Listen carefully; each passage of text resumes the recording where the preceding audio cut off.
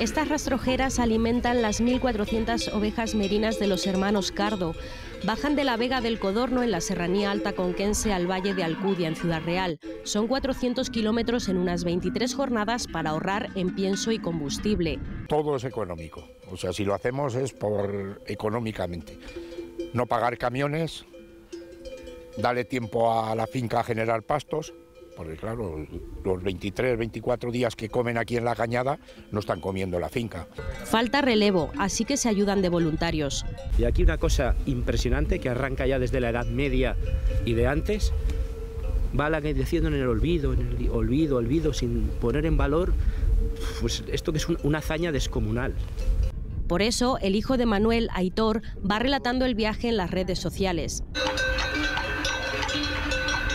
Me gustaría darle un poco de visibilidad a lo que es el oficio y, que la gente conozca más o menos pues, lo que hay aquí en el campo y de lo que se trata la transhumancia, pues estar en contacto con la naturaleza y en contacto con los animales.